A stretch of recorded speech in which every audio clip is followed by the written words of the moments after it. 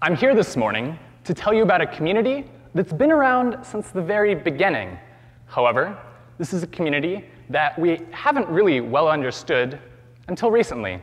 In fact, this is a community that we've definitely discriminated against, we've gone to war with, we've designed weapons to specifically fight and kill members of this community. So you're probably wondering, who is this unseen, unknown, and honestly, a little underappreciated community?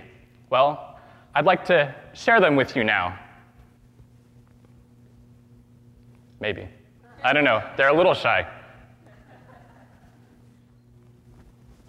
I'd like to introduce you to uh, some of my friends and some of yours, in fact, as it would seem. That is not them. All right, well, that's me.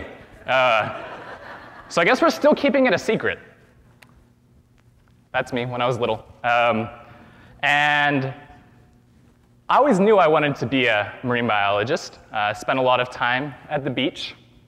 And uh, I even actually knew I wanted to be a marine biologist in Hawaii from a, from a pretty young age. But I wasn't exactly sure studying what. And it was this unseen community that began to spark my interest in uh, what became sort of my future in, in science. So I began three years of research at the Center for Microbial Oceanography Research and Education, and I distinctly remember my interview because it went something like this. They're asking a bunch of questions, and they got to the question, so Paul, how much do you know about marine microbes? And I said I had heard of the word microbe, and I assumed since they said marine, they lived in the ocean, but that was about all I knew. Um, so if you're in a similar boat this morning, you haven't heard about marine microbes before, it's okay. I didn't know anything either. But it turns out microbes in the ocean are incredible. Uh, so they produce a ton of oxygen, which we breathe. It actually turns out that microbes in the ocean produce more oxygen than, say, the rainforests of our planet. Uh, sometimes they form these aggregations, which you can see. Uh, so this is a, a bloom of some of those. And you know, they're just huge, incredible powerhouses taking in carbon dioxide, sunlight, and producing the oxygen which we breathe.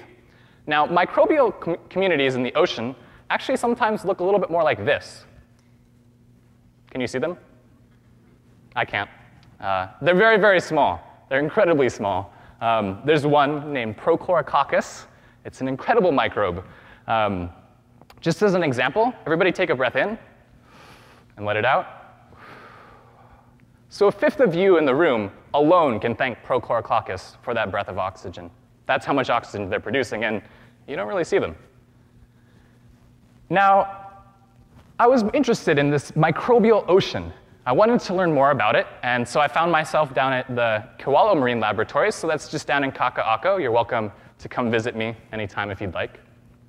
And uh, this is the system I work on. It's a little unusual, so its name is Hydroides elegans. That's its scientific name. It actually doesn't have a common name, so you have to learn the scientific name. Scientific name is Hydroides elegans.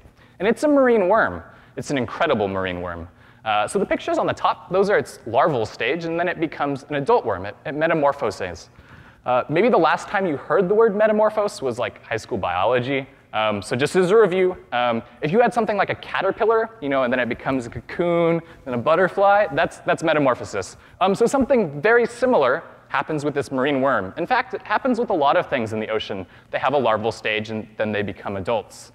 Um, and so, you know, we're talking about community. There's a great community down at the lab. Um, this is my advisor on the left, Michael Hadfield. He's actually been studying the system of hydroides for almost 50 years now. Um, so it's a good foundation. And the man on the right, that's uh, my research advisor. His name is Brian Nedved, and he's awesome, and he's also helped provided some of the pictures um, for today's talk, of which I'm very thankful. Now, hydroides is this tube worm.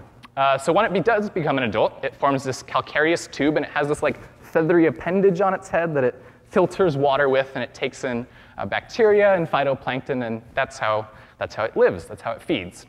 So I was talking a little bit about this metamorphic process before.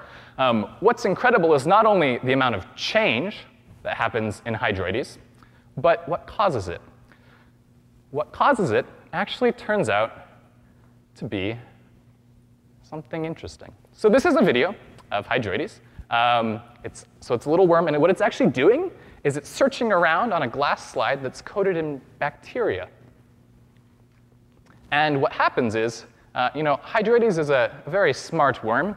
Uh, it doesn't just choose to live anywhere, but it finds a very specific place. I mean, you would want to learn about the neighborhood before you moved in. Um, it's sort of similar. It finds a good microbial community, um, and that's when it begins to undergo this incredible change from being a free swimming larva that does not look like a worm into the, the adult worm form. So maybe at this point you're thinking, Paul, this is wonderful and lovely, but I am not a marine worm. Uh, bacteria has nothing to do with me. But that's not entirely true. Um, it turns out there are actually 10 bacterial cells for every one human cell in your body. So maybe you're more bacteria than you are human. to prove a point, I'd like everybody to raise their right hand and then place it on your stomach. So your stomach has a lot of bacteria in it, and I want to introduce you to one specific one. So this is Bacteroides thetaiotaomicron. This bacteria lives in your stomach, and what's incredible is it actually has enzymes which digest carbohydrates that your body can't. So without this bacteria, you wouldn't get the energy from that type of food. It's, it's pretty cool. I think it's really cool. Um, but bacteria not only live within us, they do a lot of important things in our world.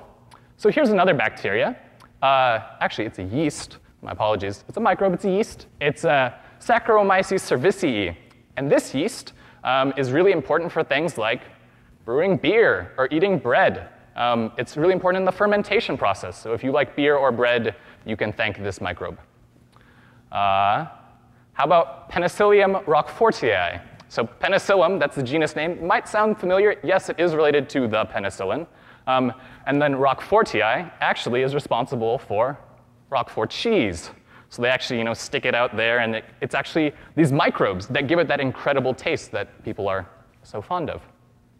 And there's one last story I want to tell you about microbes. And so this is actually a marine bacteria.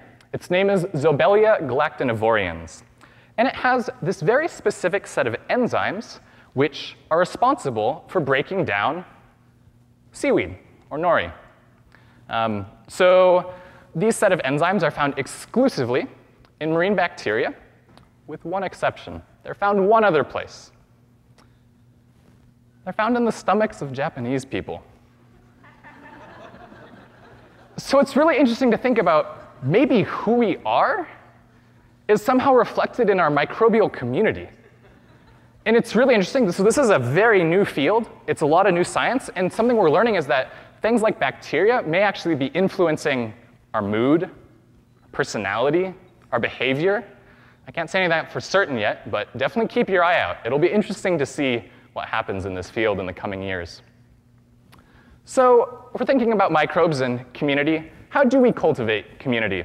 So, what I'm not suggesting is I'm not suggesting you go out and find a microbe-rich piece of moss and take a huge bite out of it. That might not be good for you. Also, you can keep washing your hands. It's fine to wash your hands. It's a good thing to do. But instead, what I'm suggesting is that we need to cultivate a different mindset. We've always seen microbes as scary, or bad, or infectious, or evil. They're really not evil. Um, they've been around for a really long time, and they've been doing a lot of really good things for a really long time. And maybe it's just because we don't always see them. Maybe that's what makes it scary. Uh, it makes me sometimes think about the way we see science in general. Because we don't always see what's happening in science, it comes off as scary or weird or confusing. So I asked, a, I asked a bunch of my friends, I asked a bunch of people, I said, you know, why are people so afraid of science? What, what scares them? There's something, I just feel like people are innately afraid of things in science. And the overwhelming response I got was, people are afraid of what they don't know. That got me thinking, what if we lived in a world in which we knew everything? To be honest, I think it would be incredibly boring. Um, one of the greatest benefits, I think, of getting to be a scientist, I consider myself incredibly lucky, incredibly lucky.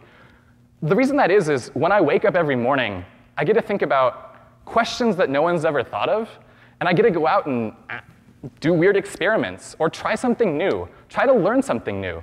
The whole idea is you don't have to do what's done, been done before because no one knows what's going to happen. It's exciting. Um, so we have to, to think about this in terms of science, too, you know, and just in general, in the public. If we, if we learn this new thing from science, don't be afraid of it. Now, okay, I'm more familiar with microbes, so I'm less afraid of them, but take something like dark matter. I know nothing about dark matter. I'm not a quantum physicist. I have a good physicist friend. Every time he explains it, I don't understand a word he's saying.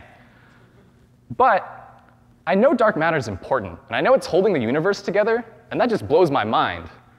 And I think that's really cool. So maybe instead of just being freaked out by things we don't know, we can embrace them and say, all right, I don't exactly understand what's happening, but the fact that it is is really fascinating. And I want to learn more about what's out there. Now, you know, this is, this is a scary concept. Uh, I understand that. So I want everybody to take a deep breath in, let it out. Remember to thank the microbes because, you know, they produce the oxygen. And then take a step from this old paradigm into a new paradigm. A new paradigm that says, I will no longer be afraid of microbes. I will no longer be afraid of science. Because it's a beautiful world. We have an opportunity here to learn new things, to explore. So thank you so much for your time this morning.